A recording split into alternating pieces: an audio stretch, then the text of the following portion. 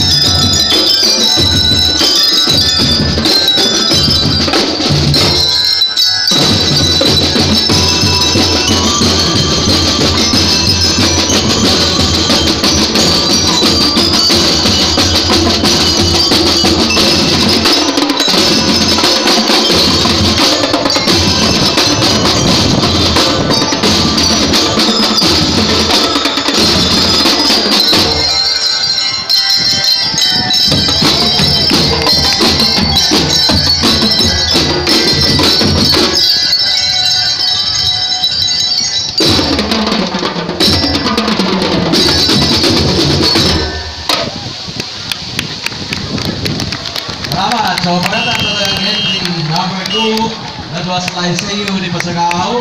Thank you po sa panonood.